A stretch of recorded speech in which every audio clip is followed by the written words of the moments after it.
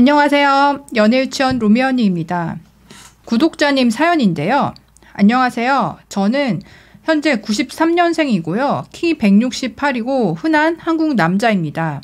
한국에서 여자들과 어울리면서 연애도 해보았지만 너무 답이 없어서 국제 결혼을 결심했습니다. 국제 결혼을 결심한 뒤 4달 만에 베트남에 출국을 했고요. 직업 관계상 1박 2일의 짧은 일정으로 4월과 5월에 다녀와서 2002년생 키 164의 여자친구를 만들었습니다. 현재 연애한 지 3개월이 조금 안 된 상태이고 결혼 준비 중에 있습니다. 1월에 결혼식을 올리기로 했으며 지금 7월부터 베트남에서 혼인 신고를 진행 중입니다. 짧은 기간 안에 결혼을 결심한 이유는 딱 세 가지입니다. 첫 번째 이유는요. 여자친구가 자기 친구가 한국 남자와 결혼해서 베트남에서 행복하게 살고 있어서 한국 남자와 결혼을 꿈꾸는 와중에 저를 알게 되었다고 했기 때문이고요. 두 번째 이유는 한국에 가서 살 수 있는 거. 그거 하나면 괜찮고 돈, 집, 자동차 모두 필요 없다고 했습니다. 세 번째 이유는 한국의 현실, 집값, 물가, 불경기 등을 어, 제가 모두 이야기해 줬음에도 불구하고 저 하나만 있으면 된다. 저를 정말 사랑하고 있기에 물질적 행복은 필요 없다라고 했기 때문입니다. 어, 시청자 분들에게 이 말씀을 전해 주셨으면 합니다. 한국에서만 여자를 찾지 마시고요. 눈을 돌려 해외로 나가세요. 마인드가 정말 좋은 외국 여성들이 많습니다. 외국 여자들은 조건이 아닌 사랑입니다. 라고 전해주시면 좋겠습니다.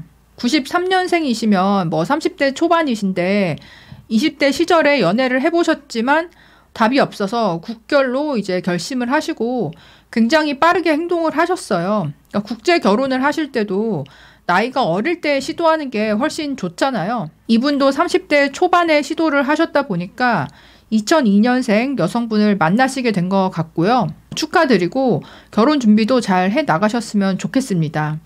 어, 그리고 제 사연뿐만 아니라 여기저기를 봐도 국제 결혼을 했다, 국제 결혼을 하러 간다. 그러니까 이렇게 말씀하시는 20대에서 30대 초반 남자분들이 굉장히 많이 있더라고요.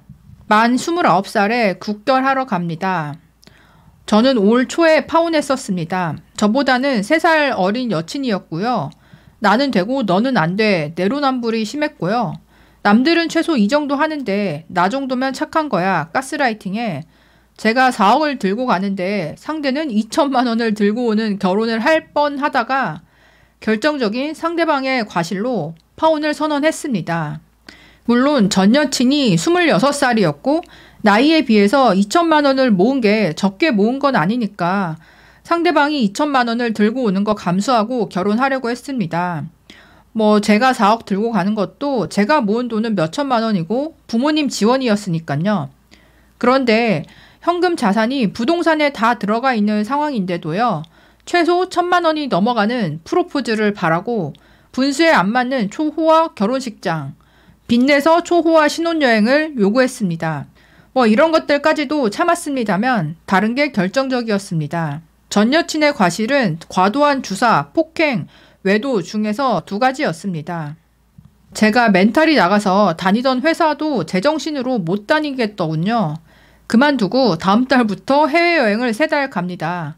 부모님께도 한국에서 여자 더 이상 만나기 싫다고 부모님이 원하시는 급의 여자를 한국에서 찾으려다가 내가 먼저 정신병 나서 죽겠다고 그냥 국제 결혼하겠다 선언했습니다.